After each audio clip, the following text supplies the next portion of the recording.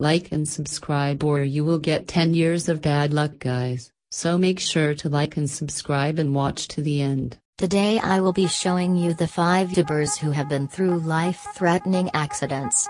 Make sure you watch until the end for a big surprise, and without further ado, let's get into the video. Okay so first up we have a famous Minecraft tuber known as Dan TDM.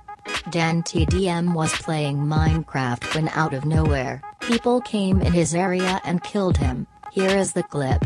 Oh, jeez. I just want to get out of here alive, please. Oh, no.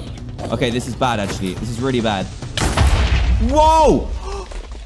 I'm gonna have to eat this. I'm gonna have to eat this. That was a double creeper. Did you see that? Oh! Oh! My heart!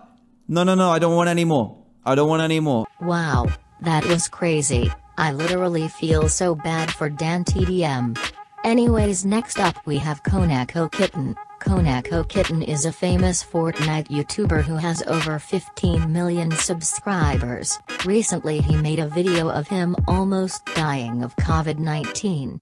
And then he... Let me just show you the clip. Let's rock.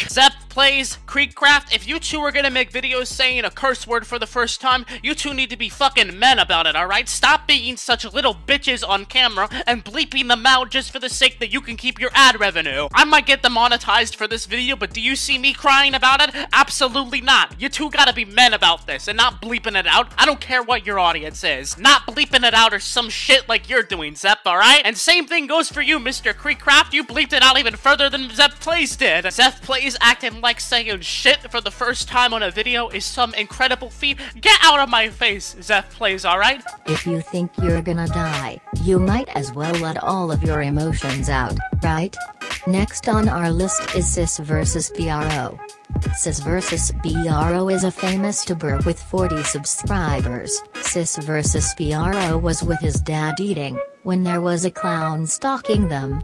This one is super duper crazy. T was a miracle that they survived without getting hurt. Here is the clip.